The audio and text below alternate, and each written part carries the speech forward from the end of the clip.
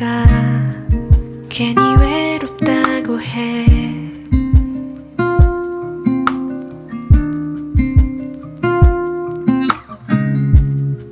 신경 써서 뱉은 말보다 그게 나을 것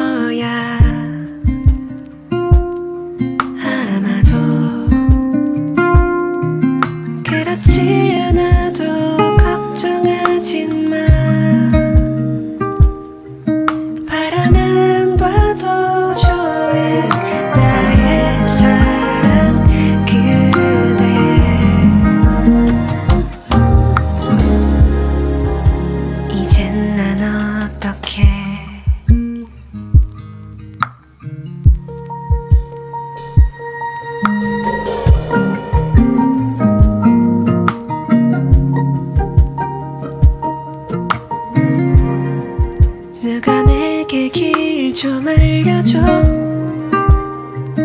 아무도 없지 않을 바로 그 길로. 사랑받는 법을 알려줘.